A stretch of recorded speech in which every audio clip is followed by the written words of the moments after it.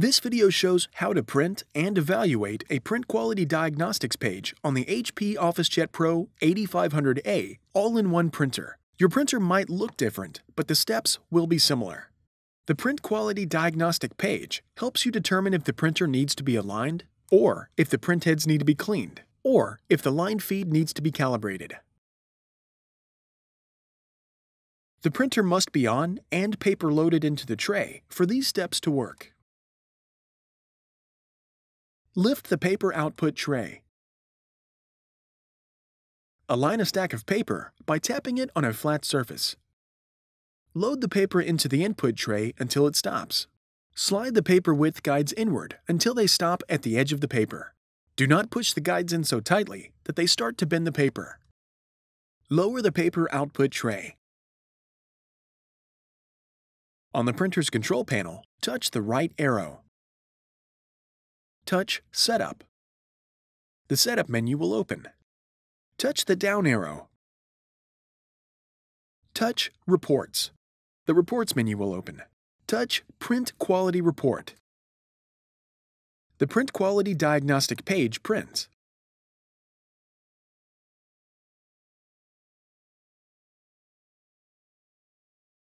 Examine the Print Quality Diagnostic page.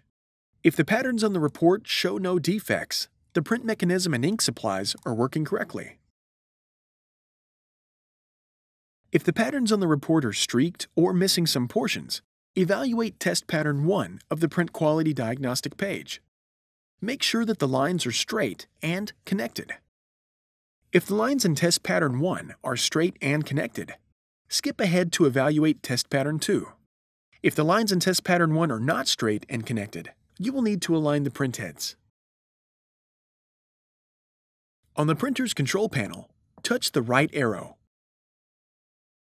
Touch Setup. The Setup menu will open. Touch Tools. In the Tools menu, touch Align Print Heads. The printer will then align the print heads. Wait while the printer completes the alignment process. Evaluate test pattern 2 on the print quality diagnostic page. Look for any defects in the color blocks. If there are white lines in any of the color blocks, follow these steps to clean the print heads. On the printer's control panel, touch the right arrow. Touch Setup. The Setup menu will open. Touch Tools. In the Tools menu, touch Clean Print Heads. The printer will then clean the printheads.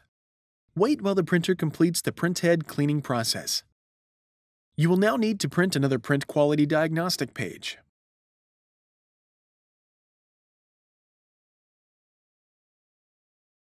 If there are no defects on the report, the problem is resolved.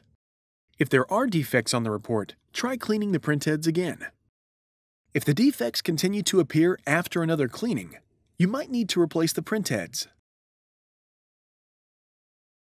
If there are white lines through all the color blocks, and also white lines through the gray blocks in test pattern 3, then do not clean the printheads.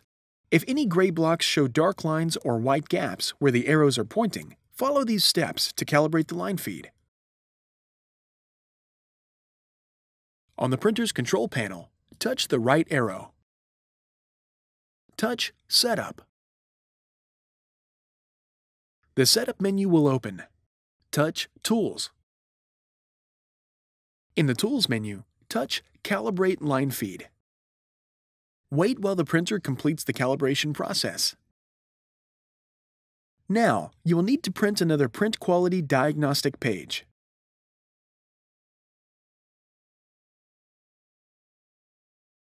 If there are no defects on the report, the problem is resolved.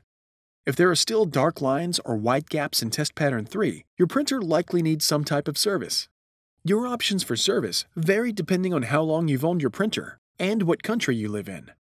Contact HP to find out the support options for your printer.